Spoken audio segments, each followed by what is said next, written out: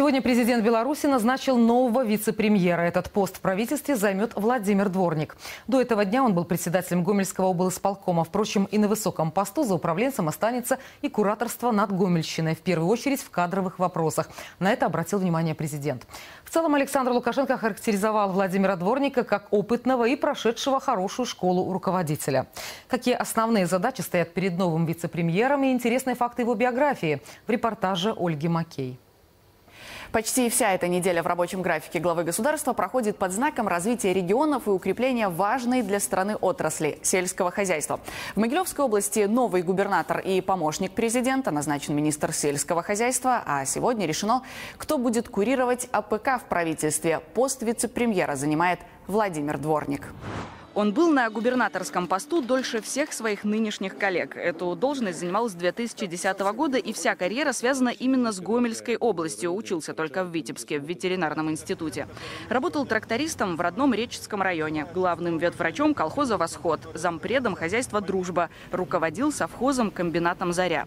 В 2009-м стал у руля Мозырского райсполкома, откуда буквально год спустя и поднялся в губернаторский кабинет.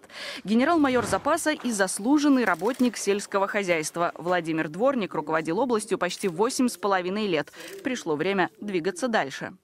Я придерживаюсь той мысли, что Владимир Андреевич Дворник достаточно опытный человек, прошел хорошую школу, не только областного уровня, что очень важно для любого, кто идет работать в правительство, тем более одним из руководителей правительства. Но вы прошли хорошую школу сельского хозяйства. Э, как я вчера вам сказал, и шишки набивали там, и падали, и поднимались. Все у вас было, а это неоценимый опыт, который пригодится на работе вице-премьером правительства. Поэтому я еще раз подтверждаю свое намерение назначить вас вице-премьером нашего правительства, который будет курировать сельское хозяйство, природные ресурсы, охрану окружающей среды, лес тоже у вас. То есть то, с чем вы постоянно сталкивались в своей работе. Вся карьера экс-губернатора так или иначе связана с работой на земле, развитием региона. Кстати, Гомельская область по площади самая большая в стране. Территория примерно как у Нидерландов. При этом в регионе больше 200 промышленных предприятий. В общем, от управленцев на местах действительно многое зависит.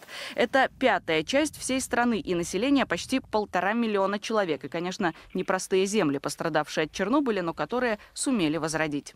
Вы знаете мое отношение к гомельчанам и Гомельской области, оно всегда было не, не просто уважительное. Я с большой любовью отношусь э, к гомельским людям, потому что в свое время и пострадали они прилично, и выкарабкались мы вместе из этой беды. И Гомельская область уже не та, что была, хотя не без проблем, это естественно. Я думаю, что мы найдем достойную замену вместе с вами на должность губернатора Гомельской области.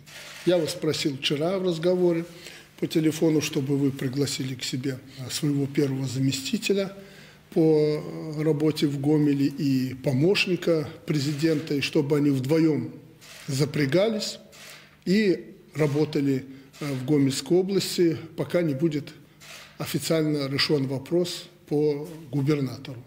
Я полагаю, что вы с ними встретились, переговорили. Ну и вы же не на Луне будете.